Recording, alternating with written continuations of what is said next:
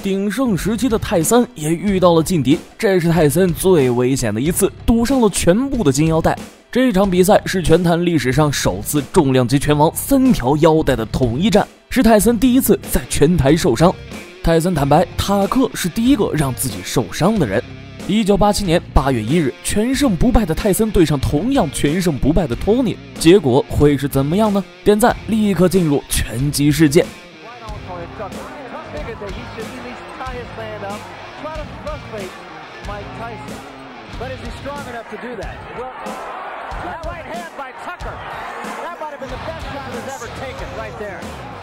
Tucker said though, he said, I'm not worried about what he's going to do to me. I'm worried about what I'm going to do to him. That's confidence. Another right hand. And another right hand by Tucker. 托尼·塔克当时左手拳打得很好，步伐摇闪，花里胡哨的，特别管用。 这次比赛的诞生，是因为当时拳击三大组织的拳王各是各的。于是，拳击权威 HBO 就想在拳坛弄一个无可争议的拳王，于是组织了这么一场重量级拳王三条腰带的统一战。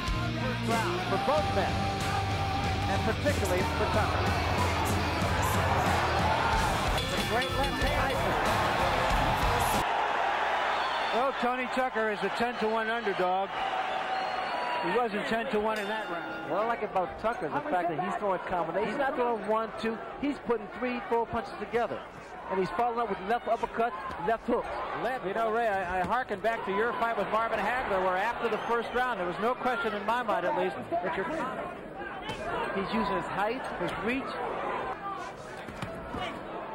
此时的泰森是鬼见到都害怕呀！泰森在这时候横空出世，不仅击败了特雷弗·博比克， 还打败了詹姆斯·史密斯，一举夺得了 WBC 和 WBA 双料重量级冠军头衔，两条金腰带拿上，现在的他就差一条 IBF 金腰带就能拿下大满贯了，这动力太足了。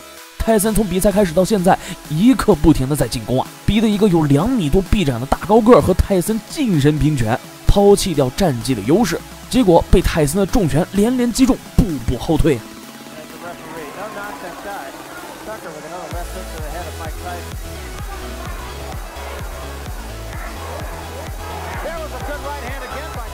一个和泰森打比赛几乎只用左手的狠人，就连战绩都比泰森恐怖，更是泰森第一次遇上的巨人选手。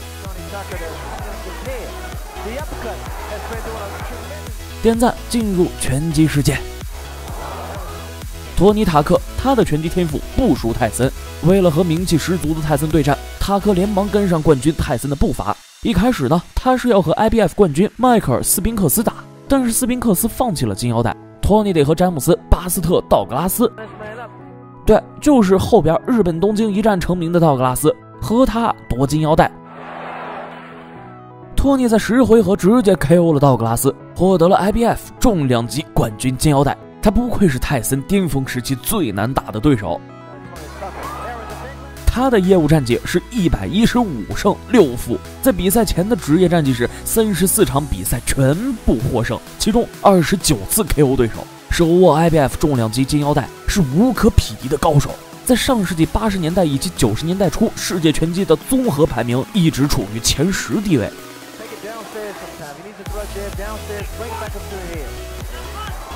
Right hand again by Tyson, but... Tyson, Tucker appears unhurt. Definitely has his legs back under him after being hurt earlier in this round. Another good shot. And Tyson with another left hand. Tyson that round going for a long fight now. Now he knows he just has to fight him, hit him, and if the knockout comes, it comes. will counter right hand, a lead off right. There's left hook.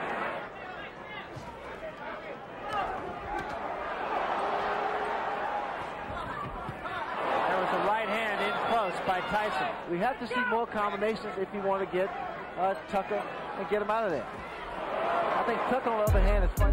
泰森在比赛前拿到三十战全胜不败的战绩，其中 KO 的就有二十七次比赛。两个人在数据上不相上下，泰森也无法 KO 这个男人。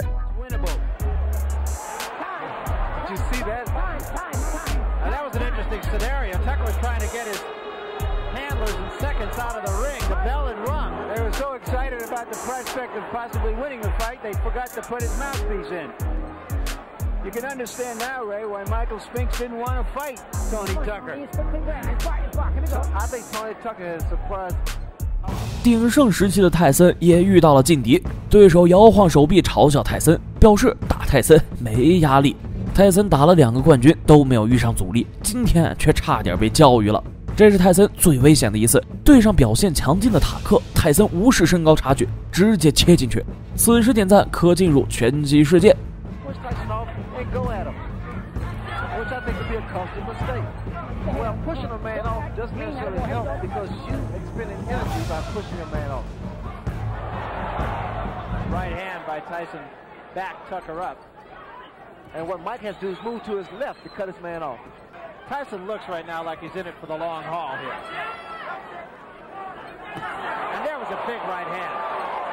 Tucker says, no, no, I'm not hurt. I've always found that to mean I'm hurt.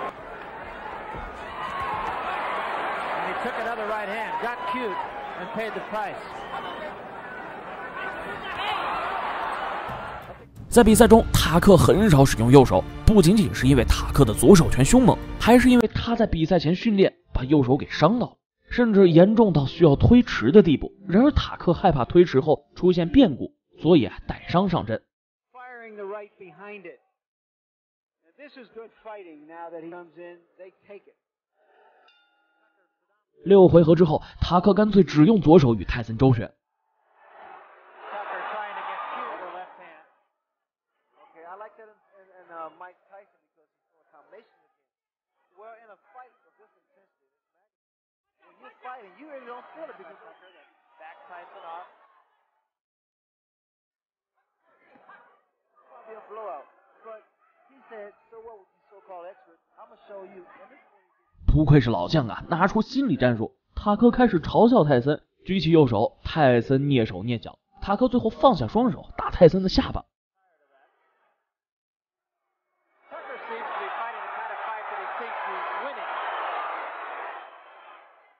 在比赛最后，塔克再一次发出嘲讽，摇头晃脑叫嚣泰森来打我呀，然后一记重拳命中泰森脸部。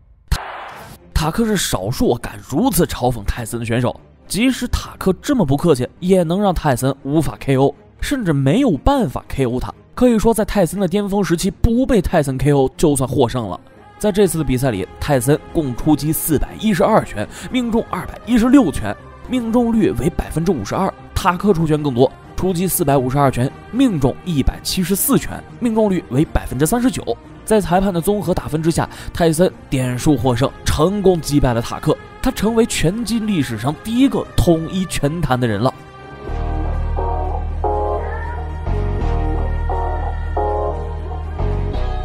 塔克虽然输了比赛，却不难过，最后还抱着泰森嘬了一口。